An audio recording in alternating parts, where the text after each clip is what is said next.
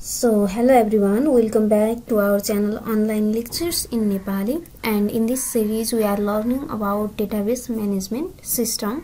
And database management सिस्टममा पनि हामी अहिले डिफ्रेन्ट कम्पोनेन्ट अफ एआर मोडलमा हेर्दै थियौँ जसमा हामीले जुन इन्टिटी एट्रिब्युट्स एन्ड रिलेसनसिप जुन डिग्रीको बेसमा चाहिँ रिलेसनसिपको टाइप्सहरू के कस्तो हुन्छ भन्ने कुराहरू हामीले अलरेडी हेरिसक्यौँ एन्ड देन हामीसँग नेक्स्ट टपिक भनेको के छ कन्सटेन्ट्स अन ER मोडल भन्ने छ next so let's start talking about constraints on ER model the term constraints जुन छ यो चाहिँ हामीले डिबिएमएस स्टार्ट गर्दै गर्दा अल गर्दै गर्दा अलरेडी हेरिसकेको छौँ।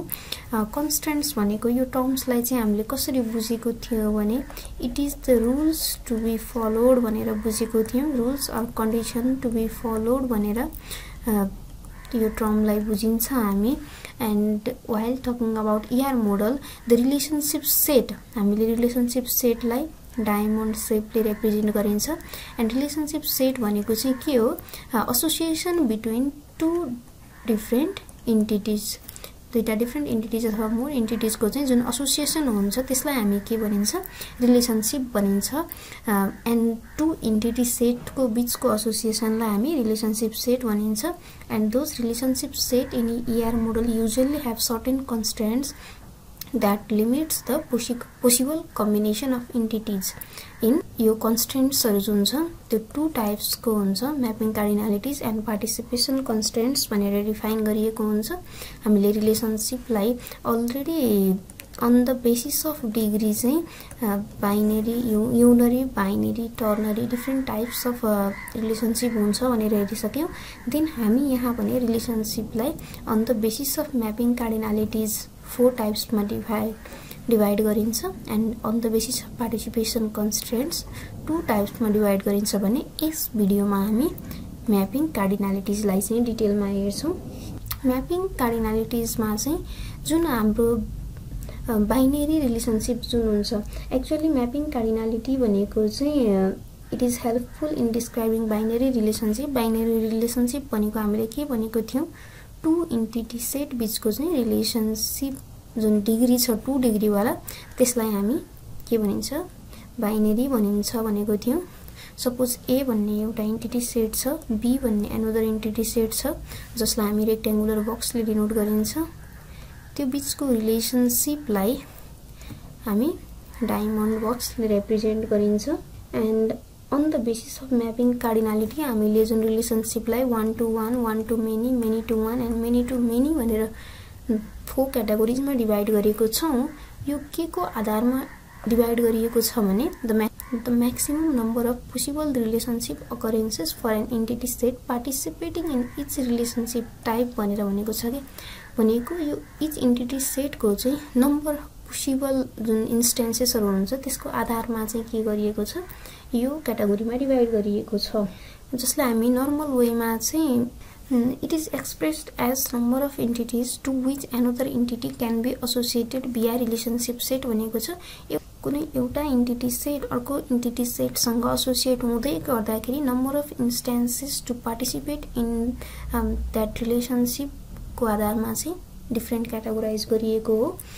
फर्स्टमा छ हामीसँग वान टू वान भनेर। वान टू वान भन्ने बित्तिकै हामीले सपोज कुनै दुईवटा सेट छ। एबी भन्ने। यहाँभित्र केही अब इलिमेन्टहरू होला।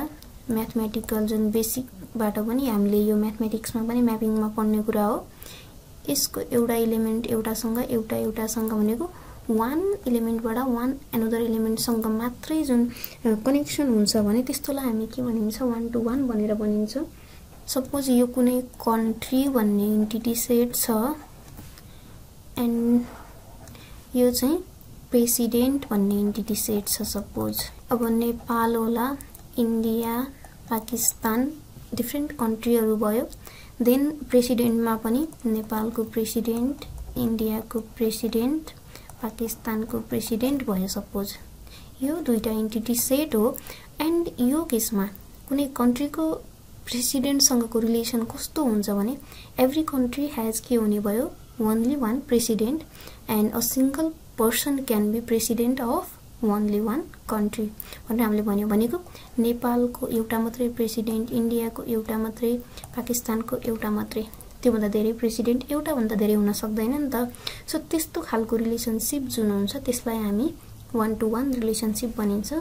So that the relationship when at most one instance of entity A is associated with only one instance of entity B and अब यसलाई रिप्रेजेन्ट हामी कसरी गरिन्छ डायग्राममा भने सपोज यो कन्ट्री भयो इन्टिटी सेट हो एउटा एन्ड रिलेसनसिपलाई हामीले कन्ट्री ह्याज प्रेसिडेन्ट भन्न सकियो। कन्सटेन्ट्स लिमिटेसन हामीले यो ड्र गर्दाखेरि त्यो मोडलिङ गर्दाखेरि कन्सटेन्ट सो गर्नु पऱ्यो नि त। अब यसो गर्दाखेरि त यो एउटा कन्ट्रीको एउटा मात्रै प्रेसिडेन्ट हो भन्ने यो डायग्रामबाट कसरी सो भयो त भने त्यो सो गर्ने मल्टिपल वे हुन्छ। हामीसँग यदि वान मात्रै हुन्छ कुनै साइडमा भने भनेको यहाँ वान वान छ वान वान छ नि वान मात्रै हुने साइडमा हामी यस्तो एरो पनि युज गर्न सकिन्छ अथवा यो जुन लाइन छ त्यो माथि वान पनि लेख्न सकिन्छ। एन्ड मेनी हुने जुन साइड हुन्छ यहाँ हाम्रो मेनी धेरै ठाउँमा छ मेनी मेनी एन्ड यहाँ पनि मेनी मेनी छ। मेनी हुने साइडमा आइदर हामी सिङ्गल लाइन मात्रै युज गर्दा पनि हुन्छ अथवा यो लाइनमाथि हामीले यन भनेको यो लाइन युज गरेको केसमा मेनीतिर यो मात्रै लाइन छोड्ने वान लेखेको केसमा यन अथवा हामी यस्तो पनि गर्न सकिन्छ। सो द्याट यहाँ हामीले चाहिँ either one country has only one president पनि लेख्न सक्यौँ। अथवा हामी यसलाई रिमुभ गरेर यता पनि एरो यता पनि एरो यो जे गर्दा पनि यसको मिनिङ के भयो भने अब यसलाई सेन्टेन्समा लेख्दाखेरि चाहिँ हामीसँग के हुन्छ भने one country can have only one president and a single person always can be the president of single country so अथवा हामीले यसको अर्को चाहिँ इक्जाम्पल हेऱ्यो भने सपोज ब्याङ्क भन्ने कुनै एउटा इन्टिटी सेट हो र सिइओ भन्ने अर्को इन्टिटी सेट हो भने every bank have only one CEO okay every bank have only one CEO and a person can be CEO of only one bank त्यसरी हामी लेख्न सकिन्छ। एन्ड नेक्स्ट अब हामी one to many and many to वानलाई हेर्छौँ। One to many अथवा many to one यो बोथको केसमा के हुन्छ भने जस्ट स्टेटमेन्ट लेख्ने कुरामा चाहिँ डिफ्रेन्ट हुन्छ। किनकि वान टु मेनी हुँदाखेरि फर्स्टमा सिङ्गल इन्स्टेन्स हुनु पऱ्यो नेक्स्टमा मल्टिपल हुने भयो नेक्स्ट इन्टिटीमा भने भनेको योमा जुन फर्स्ट इन्टिटी छ त्यसमा सिङ्गल इन्स्टेन्स हुन्छ भने नेक्स्ट जुन छ त्यसमा मल्टिपल एन अथवा नै पनि लेखेको पाइन्छ। नेक्स्ट इन्टिटी सेटमा एन नम्बर अफ हुनसक्छ भने M to one many to वानको केसमा फर्स्टमा मेनी इन्स्टेन्सेस हुनसक्ने भयो एन्ड सेकेन्डमा सिङ्गल हुने भयो। सो डेफिनेसन हेर्दाखेरि when one instance of an entity can be linked to many instances of another entity and when many instances of an entity are linked to only one entity. Manager भन्ने एउटा entity set हो. Suppose one manager can manage यहाँभित्रको association के हुन्छ? Manage one manager can manage many employees अथवा यसको one इम्प्लोइको केसमा हामीले लिएर ओन्ली वान इम्प्लोइको केसलाई हामीले लिएर भन्यो भने पनि अगाडि चाहिँ ओन्ली वान नै आउनु पऱ्यो भनेको one employee can be manage by only one manager जसरी पनि अगाडिको वान हुनु पऱ्यो पछाडि मेनी हुनु पऱ्यो यो केस भनेको के भयो हाम्रो? यसलाई हामीले आइदर यसरी वान टु एम लेख्न पनि सकियो अथवा वान यताको साइडमा यसरी स्टार पनि लाउन सकियो अथवा हामीले यसो नगरिकन हाम्रो वानको साइडमा एरो एन्ड अर्को साइडमा यसै पनि छोडिदिन सकिन्छ। सो द्याट अब बुकहरूमा अथवा कतै वेबहरूमा ब्राउज गर्दाखेरि जसरी पनि रिप्रेजेन्ट गरेको हुनसक्छ त्यही भएर कन्फ्युज हुन भएन। अनि अर्को वे भनेको यसलाई डिफाइन पनि कसरी पनि गरेको हुनसक्छ भने one to many is the relationship when for one instance suppose यो के हो? म्यानेजर भन्ने इन्टिटी सेट हो। यो के हो? इम्प्लोइज भन्ने इन्टिटी सेट हो। यहाँ डिफ्रेन्ट म्यानेजरहरू छ. एम थ्री भनेर एन्ड ह्याभ डिफ्रेन्ट इम्प्लोइजहरू छ. E one E two E three E four E five भनेर. अब यो म्यानेजरले एउटालाई मात्रै ह्यान्डल गरेको नि हुनसक्ला। कुनै म्यानेजरले दुई तिनजनालाई ह्यान्डल गरेको हुनसक्ला। हामीले कति चाहिँ कस्तो डेफिनेसन पनि भेटिन्छ भने the relationship when for one instance of entity set भनेको manager is an entity set and these are an instances of the entity set manager and यसको लागि where one instance of entity A there are zero and कसैको one मात्रै पनि zero one or many instances of entity B one instance of entity A को लागि zero one or many जति पनि इन्स्ट्यान्सेस of entity बीसँग चाहिँ के हुनसक्छ? कनेक्सन हुनसक्छ but for one instance of entity B there is only one instance of entity A भनेको म्यानेजरको सेटको म्यानेजरले जेरो वान अथवा जति पनि नम्बर अफ इम्प्लोइजलाई चाहिँ म्यानेज गर्न सक्छ तर one entity can work under only one employee भनेको इ वान के छ?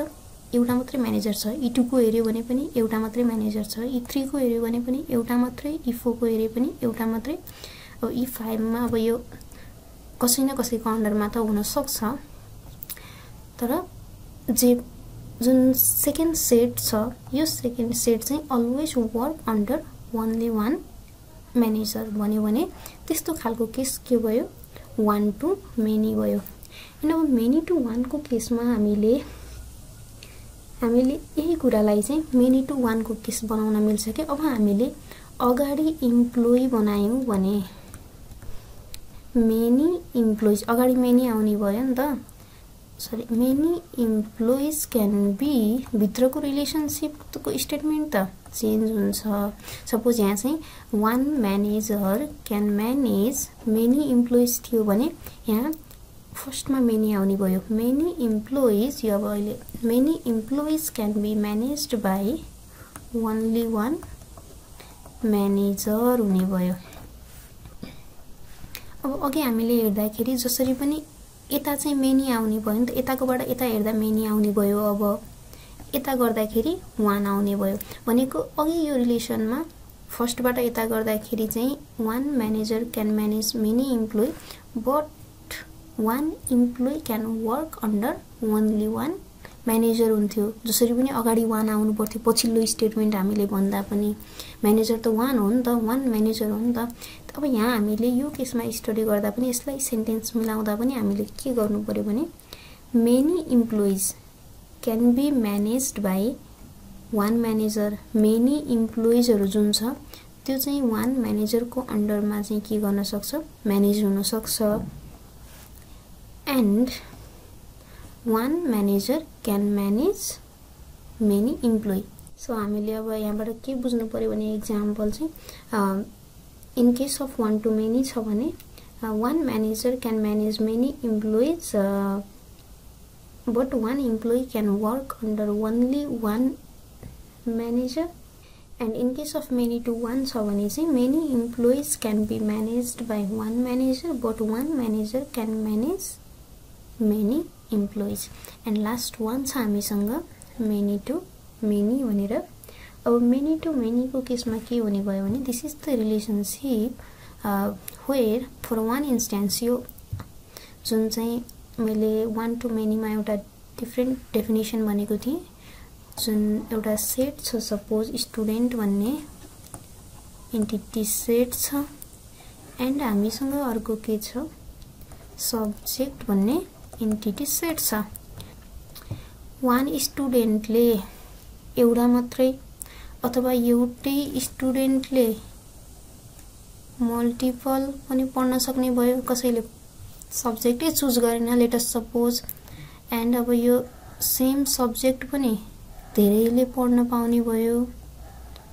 कसैले सबै सब्जेक्ट पनि पढ्न पायो। कसैले एउटा मात्रै भनेको when for one instance of entity A for one instance of entity A भनेको यो यिनीहरू हामीले अलरेडी भनिसक्यौँ जुन इन्टिटीको चाहिँ एउटा इन्टिटी सेटभित्रको चाहिँ नम्बर अफ इन्टिटिज जे छ भनेको त्यो सानो सानो इन्टिटिज जुन छ त्यसलाई हामी इन्स्ट्यान्सेस अफ इन्टिटी भनिन्छ। स्टुडेन्टभित्रको student whole entity entity set हो भने त्यो कुनै क्लासभित्रको स्टुडेन्ट होल इन्टिटी सेट हामीले भन्यौँ भने त्यहाँभित्रको स्टुडेन्ट लाइक राम कोही इन्डिभिजुअल युनिट होला। त्यो इन्स्टेन्स अफ एन इन्टिटी हो। अरू कोही होला सीता राम श्याम गीता तिनीहरूलाई चाहिँ हामी instances of an entity and सब्जेक्टको इन्स्टेन्सेसहरू के भयो? म्याथ साइन्स सोसल त्यस्तो केही भयो भने त्यो चाहिँ इन्स्टेन्सेस अफ सब्जेक्ट हुने भयो। So for one instance of entity A there are zero कुनै स्टुडेन्टले पढ्दै पढेन सपोज कुनै subject and one or many instances of entity B and for B also B को लागि पनि there are one only one अथवा कुनैको लागि वान मात्रै होला कुनैको लागि zero or many instance in entity A भनेको फर्स्टमा पनि मेनी जे जति पनि हुनसक्ने भयो पछाडि पनि मेनी जुन रिलेसनसिप हुन्छ many instance of student A अथवा sorry many instances of entity A can be linked to many instances of entity B. Then त्यस्तो रिलेसनलाई हामी के भनिन्छ? मेनी टु मेनी रिलेसनसिप भनेर भनिन्छ। एन्ड रिप्रेजेन्ट गर्दाखेरि हामी यसलाई के गरियो? Many student can read many subjects and many subjects can be read by many students अब हामीले यदि एउटा इन्डिभिजुअल युनिटको थ्रुबाट गऱ्यौँ भने पनि one student can read many subject and one subject can be read by अथवा मेनी स्टुडेन्ट्स भनेको त जसरी पनि अगाडि पछाडि हाम्रो यस्तो केसमा चाहिँ मेनी आउने भयो नि त जति पनि हुनसक्ने भयो नि त। So that we called it as many to many relationship